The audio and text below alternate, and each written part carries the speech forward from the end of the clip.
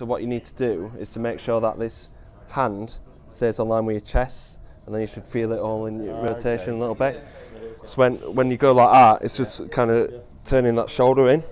So when we first started out boxing science, we wanted to have an impact on the sport to help improve the training methods, in particular the delivery of sports science in boxing and in combat sports. So we started uh, doing articles and posts on Instagram and videos on YouTube, but this will only giving our coaches and athletes a snapshot of what we actually do at Boxing Science. Basically, it wasn't giving coaches like the practical tools to help integrate that into their coaching environment. So we started the Ultimate Coaching for Combat Sports workshop to teach them the sports science principles, but mainly how they can apply our training methods into their practice. And we can kind of give them a guide but not one size fits all approach. So it's great to meet different coaches from all over the country and all over the world. We can actually help them uh, integrate strength integrate their conditioning based on their access to facilities different athletes that they work with as well Spider-Man into squat turn up nice and upright and back. Keep swapping legs. It's a great way to get into a deeper squat position than you normally would. Let's say if I were doing a squat there, I'd probably finish there. When I do the Spider-Man squat, I'm finishing that position. So you want to try and stay as low as you can. What I don't want to see, when you're trying to stay as low as you can, you're squatting like that, round back, okay? So we've got various different components to the workshops.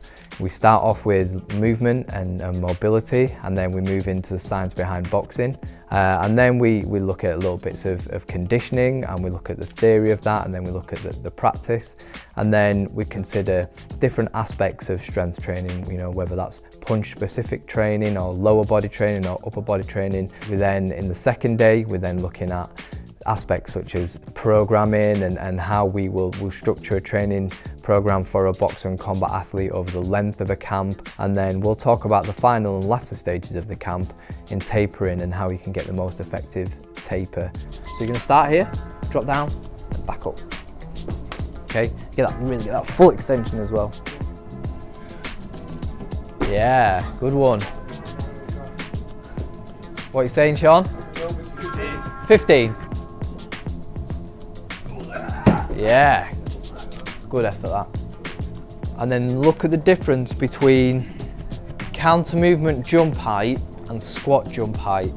So what I enjoy about the workshops is this is the best way that we can share the boxing science training methods. We've got two days to fully explain what we do at Boxing Science. This is bringing all the information in one place at one time and then if anyone's got any specific questions, you know, interacting with coaches, uh, knowing like how that you're going to have an impact on not only their career but the 10, 20 or 30 athletes that uh, they're coaching as well. Try and get 10 reps in before you reach me, okay? Stop and then come round on the green bit, okay? Off we go. Good, get up nice and high, good, yeah, nice. Yeah, toes up, good, yeah. How many reps we getting? Don't pike up too much. Tapping side to side, okay? So start off quite light, just get used to it. Get tight to the line, get nice and fast, okay?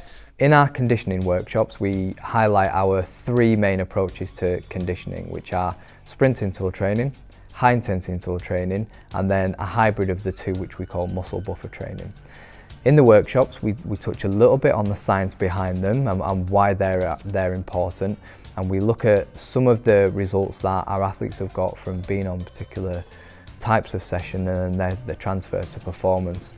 We break that science down into really understandable format and we couple that with practical elements as well.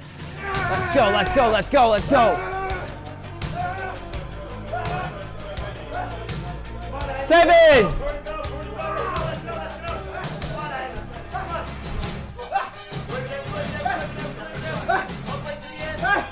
Seventeen!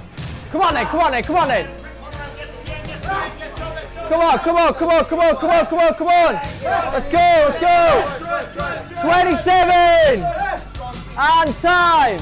Workshops are so effective because it's not like you're just reading from a, a presentation slide. You're not just reading from a book or watching a video, you actually get the chance to do these methods yourself. We have practical workshops in strength and plyometrics and, and movement training that everybody gets involved with. And then the brave ones that are wanting to get involved with the conditioning as well, they get to learn about how gruesome and how uh, grueling our uh, conditioning methods are.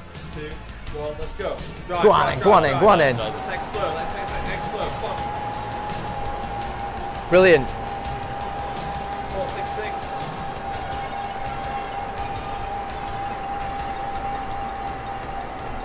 Keep it up, Vicky, keep it up, keep driving them legs. Keep it going then. Keep it going. Keep pushing.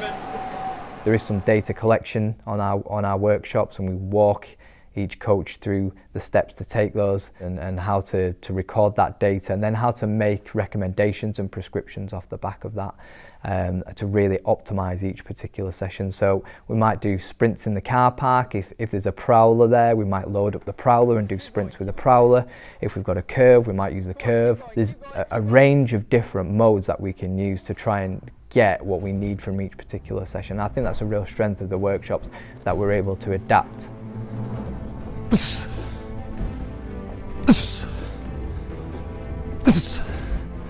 Notice the three kilos going faster. the heavier ball is creating like a bit of potentiating effect, a little bit of coaching cue as well. If you're moving against a heavy object and then suddenly you've got a lighter one, you're going to fire that in. All the methods that we use uh, across the workshop, the main buy-in that we get from, from coaches and from athletes is the fact that it takes no talent to do. You know, getting stronger, getting fitter, moving better. You know, I can do that. The average Joe in the gym can do that. So definitely an athlete can do that. And the thing is that this can unlock their potential in, in their boxing and their combat sport performance. And the main thing is is that we uh, break down the underpinning science. Some some find it quite complicated science, and put it into a really understandable format uh, for them on the theory side, but also on the practical side as well. We're showing them how to practice it within a coaching environment.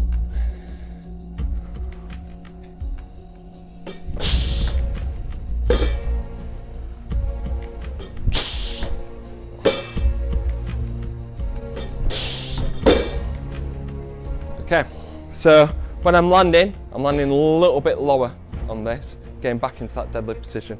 Because if we're going too high, trying to land it, like we'll do altitude jump, the weight's too heavy, we'll just drag our shoulders down. we take the scientific understanding and knowledge developed from years of scientific research and well established theory and principles and we apply it in a very context specific manner.